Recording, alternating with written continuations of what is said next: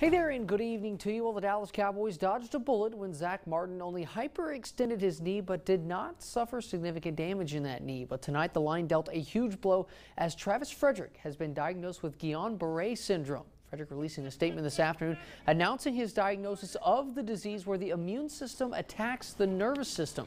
That manifests itself in the tingling, which would explain Martin's stingers he's been dealing with over the last couple of weeks. That statement reading in part, and he's already undergone two treatments and already and said I will continue these treatments over the next few days. I'm very optimistic about my condition in immediate future as I've been told that the illness was detected fairly early. The Cowboys will be back on the practice field tomorrow morning ahead of their third preseason game on Sunday.